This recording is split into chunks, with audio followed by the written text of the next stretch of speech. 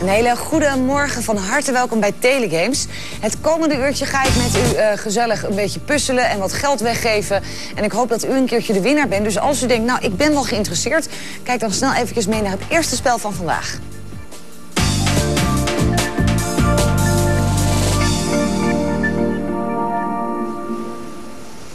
We gaan de shake and match spelen als eerste spel. En we gaan even de opgave erbij halen. Ik ben benieuwd waar we naar op zoek zijn.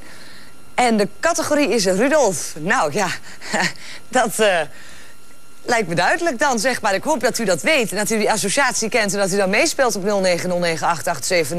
Of u stuurt T1 naar 2332.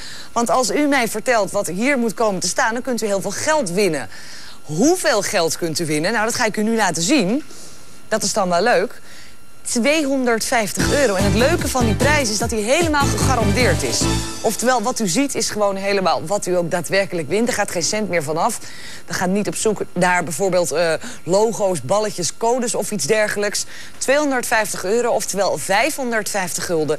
Dat krijgt u direct in ruil voor het juiste antwoord.